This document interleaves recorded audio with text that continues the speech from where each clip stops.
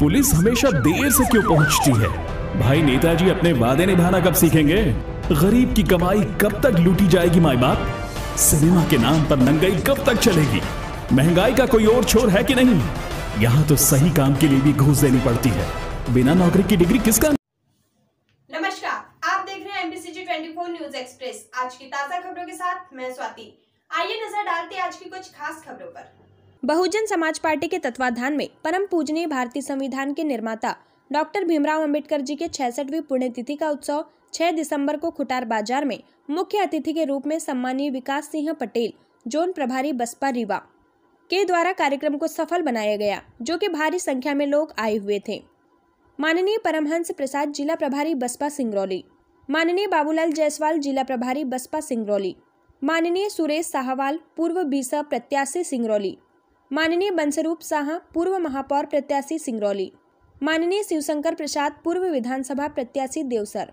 माननीय चेतमणि सिंह गोंड, पूर्व विधानसभा प्रत्याशी चित्रंगी।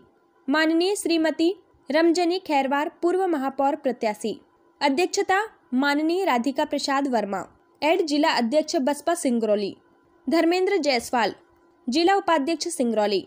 रामजी साकेत, विधानसभा अध्यक्ष सिंगरौली। आर एन साहा, अध्यक्ष देवसर, जिला सचिव रामजी बसोर, विधानसभा कोषाध्यक्ष ब्रजेश भारती, पवन जायसवाल, विधानसभा प्रभारी देवसर, वृंदावन वर्मा, इंद्रेश वर्मा, कुमार भारती, अरविंद कुमार साकेत, राम भवन साकेत, अंबेलाल, राजेश कुमार साकेत, कामता प्रसाद, राजू भारती, संतराम साकेत, गणेश प्रसाद साकेत, सावन अंबेडकर अंगत जितेंद्र कुमार, चौधरी, बाबूलाल बबलू प्रसाद अंबेडकर। राम रक्षा पंच अर्जुन अंबेडकर रैदास। राजस्व विभाग का खेती सैकड़ों। कार्यकर्ताओं ने बाबा साहेब के परिनिवारण दिवस को श्रद्धांजलि अर्पित करते हुए सभा को समापन किया गया। निवेदक, बहुजन समाज पार्टी जिला इकाई Singrauli. MPCG 24 news express Singrauli से सत्यनारायण साकेत की रिपोर्ट छत्रपति साहब महाराज जी अमर रहे अमर रहे बाबा साहब अमर रहे अमर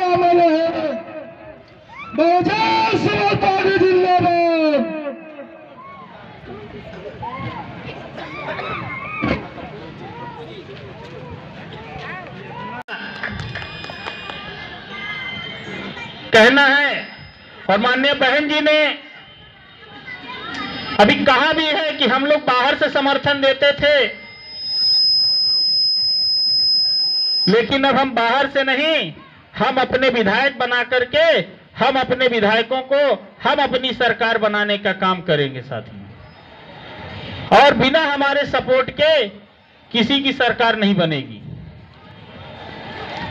इसलिए साथियों, हम लोग